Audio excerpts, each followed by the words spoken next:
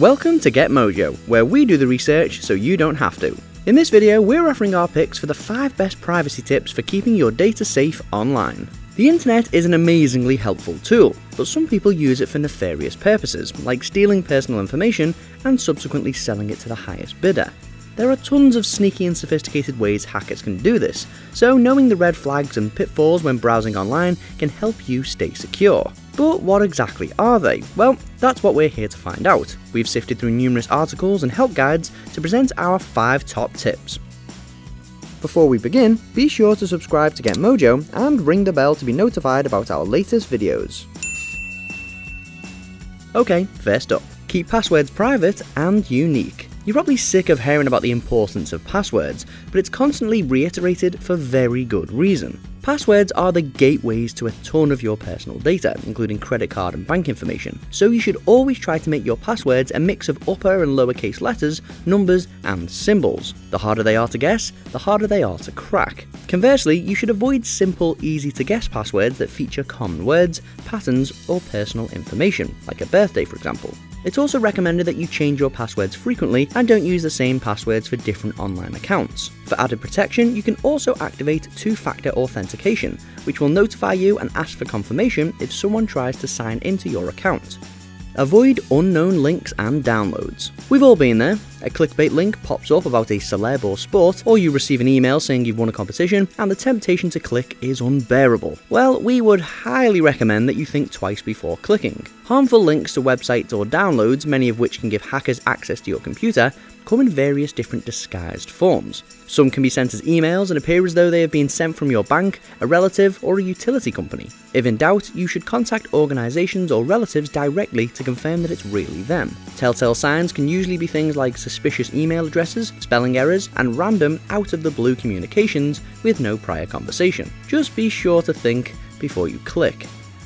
Only use secure websites. Similar to the aforementioned clickbait trap, Using unsecure websites can also be dangerous, especially if you're entering your personal info and bank details. A quick way of assessing a website's legitimacy is to see if it has HTTPS at the start of its URL, with the S in this acronym standing for secure. Spelling mistakes littered throughout the website are also a warning sign. To be sure, you can always use a high security web browser, which is designed to spot suspicious websites, but you still have to be on guard. And chances are, your computer already has some added security settings built in to detect things like this, but you just may not have them activated. You can also install an antivirus program which constantly checks the websites you're visiting. Some popular brands include Norton, AVG, and McAfee. Use a VPN. You'll have probably heard the term VPN being thrown around a lot lately. But what is a VPN? Well, in simple terms, a VPN or virtual private network is designed to scramble any information exchanged between your computer and an internet provider, either from home or in a public place like a cafe, so that your information can't be viewed or stolen. This encryption technology is great because it ensures that even if hackers are present on a network, out of no fault of your own, they will not be able to access your information. NordVPN is one of the best VPNs out there, offering secure connections, lots of servers, and highly competitive prices. To learn more about how NordVPN can protect your data online, check out the link in the description.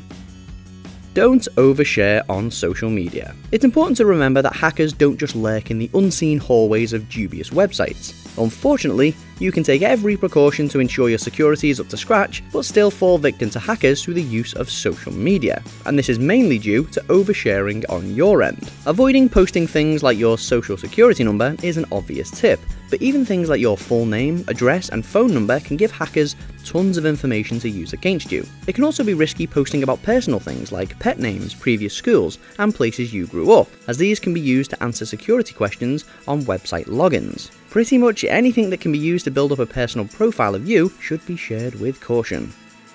So how do you ensure your personal data is safe online? Well, simply being extra vigilant can help massively. If a website or email looks suspicious, then avoid it. And if you currently overshare on social media, maybe think twice next time. Some online scams can be incredibly crafty though, and that's where security tools like antivirus software and VPNs can have your back.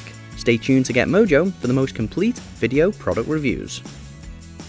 Check out this other recent clip from Get Mojo, and be sure to subscribe and ring the bell to be notified about our latest videos.